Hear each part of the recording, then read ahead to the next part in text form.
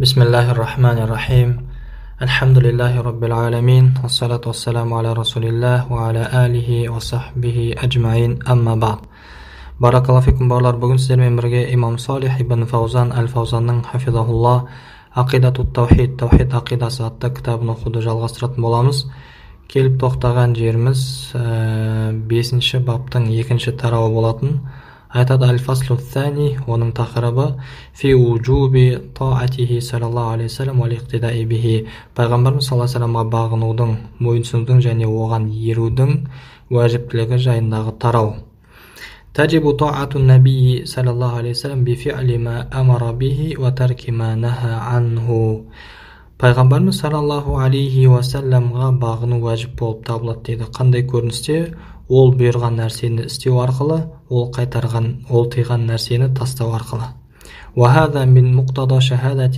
أنه رسول الله صلى الله عليه وسلم бұл ла иляха иллаллах мұхаммад расулалла деп біз куәлік береміз ғой соның мұхаммад расулулла деп куәлік бергеннің ә, талабы болып табылады деді وقد أمر الله تعالى بطاعته في آيات كثيرة аллах тағала көптеген аяттарда өзінің елшісіне бағынуды бұйырады таратан мақрунатан ма кей аяттарды қарайтын болсақ аллах тағала өзіне бағынудан кейін өзіне бағынумен қатар пайғамбар бағынуды бұйырады мысалы қарайтын болсақ ниса сүресінің елу тоғызыншы аяты аллах тағала айтады аману атиуллаха иман аману атиуллаха ва атиур расул иман келтіргендер аллахқа мойынсұныңдар және елшіге мойынсұныңдар деп аллах тағала елшіге мойынсұнуды өзіне мойынсұнумен елшіге бағынуды өзіне бағынумен қатар айтқан.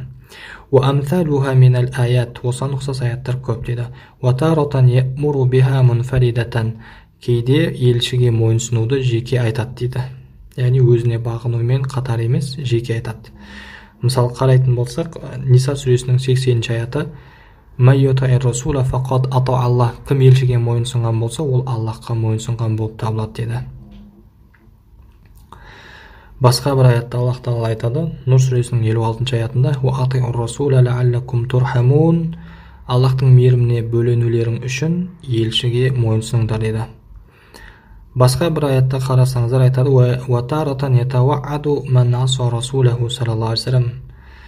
кейбір аяттарда елшісіне қарсы келгендерді аллах тағала ескертіп ә, айтады дейді жазамен уәде етіп айтады дейді мысалы нұр сүресінің алпыс үшінші аят алпыс үшінші аяты فليحذر الذين يخالفون عن أمره أن تصيبهم فتنة أو يصيبهم عذاب أليم елшінің әміріне қарсы келгендер сақтансын дейді оларға фитна келіп жетуінен немесе ұлы азап келуінен қатты ауыртпа қатты сондай ауыртатын азаптар келіп жетуінен сақтансын дейді әй яғни тусибухум фитнатун фи кулубихим мин куфрин ау нифақин ау бидах яғни елшінің әміріне қарсы келіп қалған адам сақтансын дейді оған фитна келіп жетуінен жүрегінде деді жүрегінде күпір орнаудан ә, нифаққа жолығудан немесе бедғатқа ұшыраудан қорықсын дейді сақтансын деді өйткені пайғамбар әміріне қарсы келу міндетті түрде жүректегі фитнаны тудырады не ол күпірге алып барады не ол екіжүзділікке нифаққа алып барады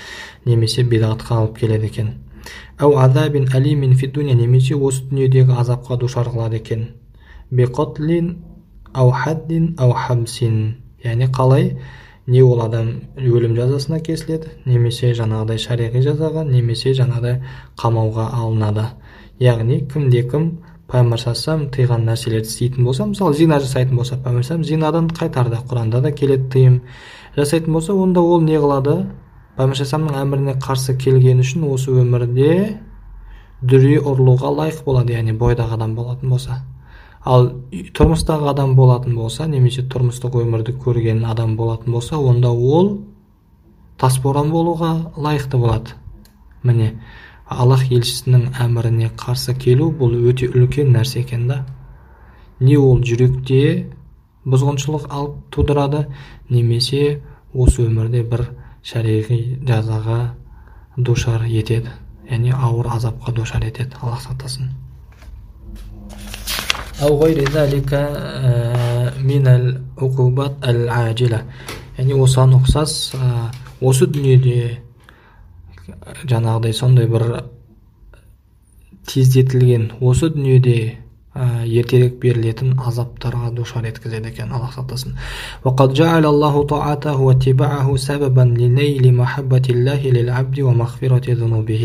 Аллах тағала елшісіне мойынсынуды оған еруді аллах тағаланың махаббатына және кешіріміне жетелейтін амал қылып бекітіп қойды деді мысалы қарайтын болсақ әли имран сүресінің отыз бірінші аятында аллах тағала айтады құл ин кунтум айт дейді егер сендер аллах тағаланы жақсы көретін болсаңдар онда маған еріңдер сонда аллах та сендерді жақсы көреді және күнәларыңды кешіреді деп айт оларға деді. Баракалафикум осы аяттың тәпсірін қарайтын болсақ ибн журейдж рахимахулла айтады кана қаумун язумуна аннахум яқулуна инна нухиббу раббана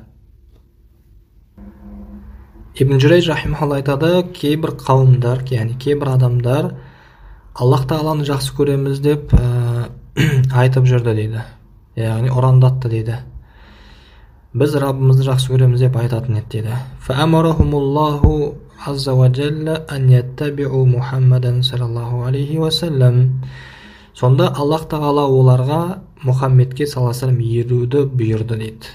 Иттибаа саллаллаху алейхи және пайғамбар саллаллаху артынан еруді ізінен ергесуді Аллах тағаланы жақсы көрудің белгісі бір ә, білімі сипаты шарты етті дейді. Баракаллафикум дәл осы сөзді имам хасан аль-Басри де айтқан екен енді қараңыздар суфян ас саури рахимахулла айтады инна расулаллахи саллаллаху алейхи уассалам хуал мизанул акбар расында аллах елшісі бұл ең үлкен таразы дейді وعليه تعرض الأشياء على خلقه وسيرته وهديه және пайғамбар саллаллаху жүріс тұрысына өмірбаянына пайғамбар саллаллаху мінез құлқына қарап амалдар өлшенеді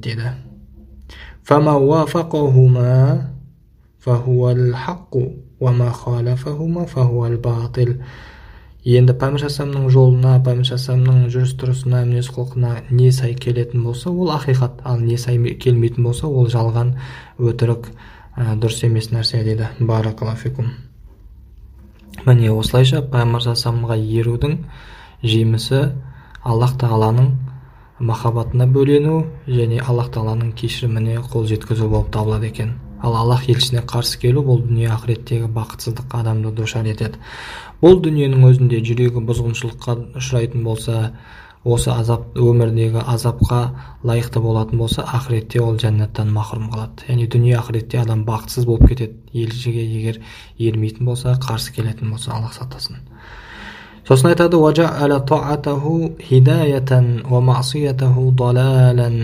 пайғамбар мойынсынуды туралық етті және оған қарсы келуді адасушылық қылып бекітті дейді аллах тағала. Айтады аллах тағала нұр сүресінің елу төртінші аятында егер сендер оған мойынсұнатын болсаңдар онда тура жолға басталған боласыңдар деді. Баракалафикум басқа аятта зухруф сүресінің аятында аллах тағала айтады қателеспесем елу екінші аяты расында сен адамдарды тура жолға бастайсың дейді. Яғни тура жолға келулеріне себепшісің дейді. Аллах тағала басқа аятта айтады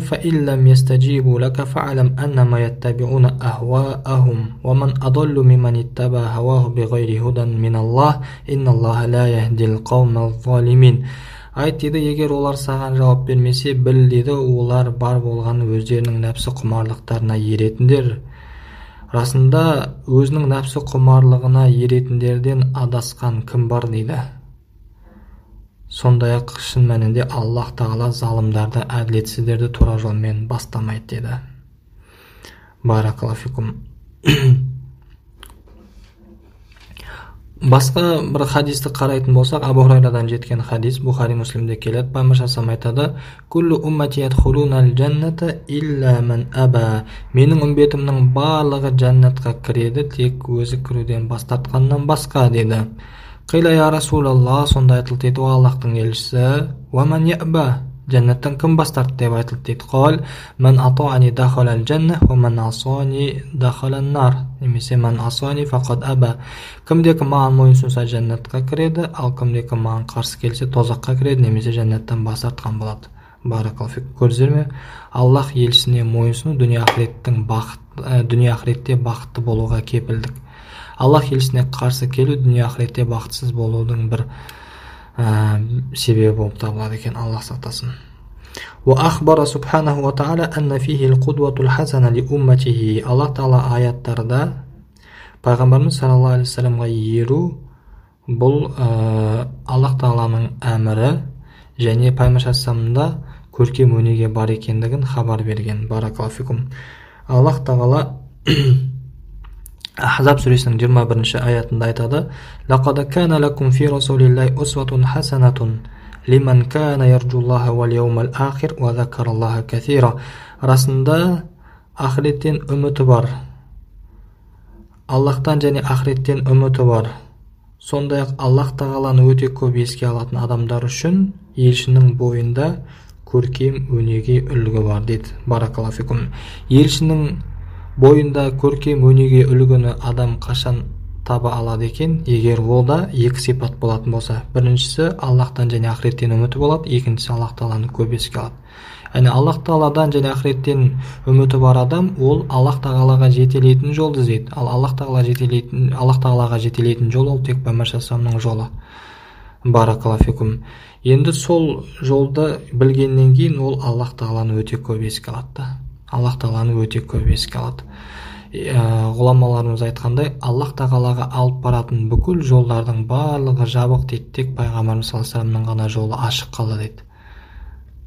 Көрдіңіздер ме аллахқа жетеміз десе аллахқа жетемін десеңіз аллахпен байланысымды дұрыстаймын десеңіз онда елшінің жолымен жүріңіз. Елшінің бойындағы үлгіден өнеге ғибрат алыңыз. Баракалафикум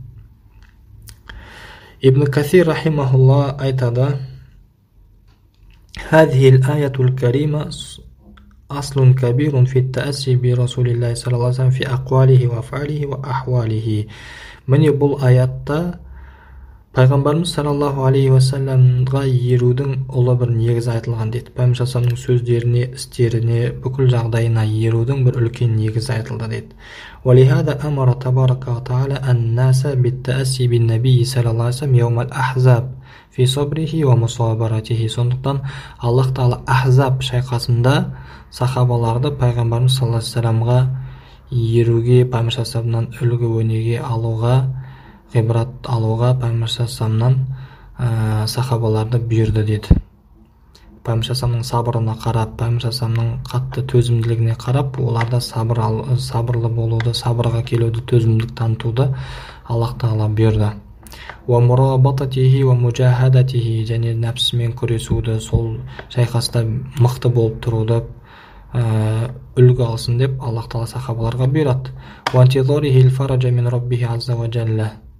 дәиман саллаллаху уассаламу алейхи дәиман иля яумиддин және пайғамбарымыз саллаллаху алейхи вассалам аллах тағаладан қалай жеңіс күткенін көріп сахабалар да дәл сол сияқты пайғамбар еріп одан үлгі өнеге алсын деп аллах тағала бұйырған екен وقد ذكر الله طاعة الرسول صلى الله عليه وسلم واتباعه في نحو من أربعين موضعا من القرآن расында аллах тағала пайғамбарымыз саллаллаху алейхи уассаламға еруді құранда қырық жерге қырық жерде айтқан екен яғни қырық аятқа жуық пайғамбар еру туралы келеді екен. Имам ахмад рахималла қателеспесем айтады мен мұсхафты құранды ашып қарадым дейді. Сөйтіп пайғамбар еруді отызға жуық аяттан таптым деді ila ma'rifati ma ja'a bihi wa tibai minha ila at-ta'ami айтады фаннуфусу иля ма'рифати бихи минха иля тағам мен сусынға қарағанда пайғамбар жолын үйренуді және пайғамбар жолына еруді жоғары санау керек дейді артық көру керек дейді нәпсілер соған қаттырақ мұқтаж дейді тамағы мен сусынға мұқтаждықтан қарағанда. Дейді өйткені дейді өте керемет әдемі сөздер қараңыздар.